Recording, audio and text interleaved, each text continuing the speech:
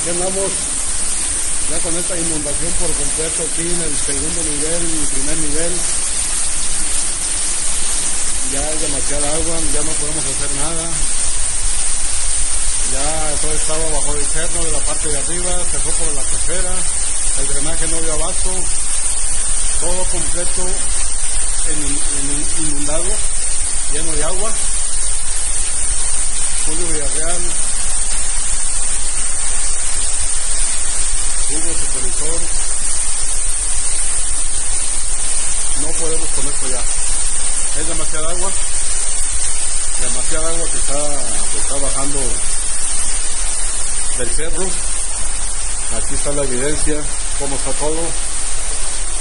Bien mal que está todo esto. Ya no podemos hacer nada más, más que nada ya todo esto.